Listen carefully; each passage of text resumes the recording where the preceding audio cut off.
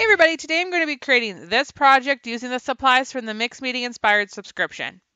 I've already gessoed my 4x4 canvas board with black gesso, and now I'm mixing TCW stencil butter in white with a few different colors of Lindy's Magicals, and those colors will be listed in the description below along with all the other products I'm using in this video. So I'm mixing together the stencil butter and the Lindy's Magicals with my palette knife until I have that color completely incorporated. And then I'm going to scoop it up with my palette knife and begin painting with my palette knife and the stencil butter. So all I'm doing is grabbing a scoop of this colored stencil butter and then applying it onto my canvas board in a bit of a swirled pattern to create loose abstract petals. Now this is quite thick on my palette knife so you can see there's texture in all of the petals and that's what I'm wanting it to be. I'm wanting to be more of an abstract impasto painting with lots of texture and movement within all the flowers. And after I have everything 100% dry, I'm going back in with some loose powder and a wet brush to add some coloring and detail in the center of the petals and also a little bit of dimension and sparkle because Lindy's Magicals do have mica powder in them. And I'm going to do the exact same step for both colors of the flowers, both the purple and the pink.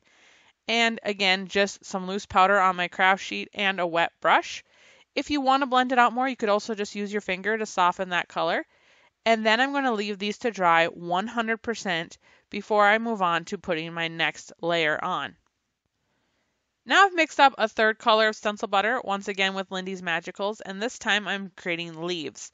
So instead of the traditional swirl that I did to make the petals, this time I'm creating more of a teardrop shape for leaves. And I'm putting these leaves in areas that have more of an empty space, but I'm also taking care to have some of them overlap the petals to create dimension and interest in this piece. And then I'm laying it dry and doing the exact same step of using the dry powder and a wet brush to add dimension in each of the leaves. And I'm going to do this on all of the leaves and then leave it to dry. After everything's dry, I'm grabbing my Dina Wakley Media media tool, which is a silicone tool, and dipping it directly into the jar of stencil butter. And then I'm using this to create dots in the center of the flowers. And then I'm going to let this dry once again.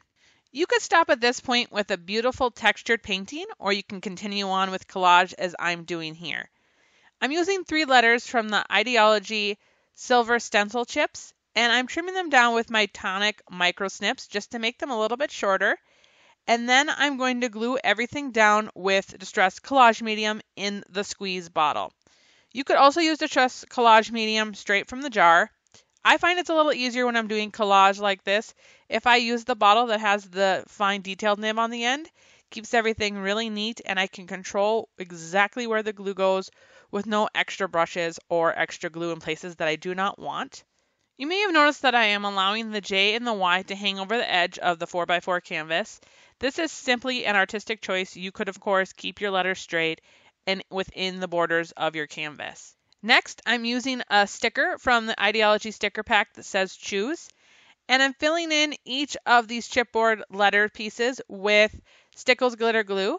And I'm making sure they're completely full because as this dries, the glitter will be left and the glue will go away.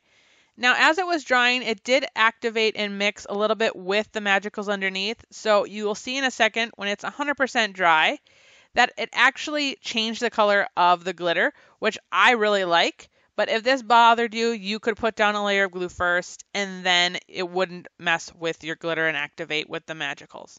Thank you so much for watching. Don't forget to give us a thumbs up and hit that subscribe button to let YouTube know you want to see more of our mixed media videos in the future.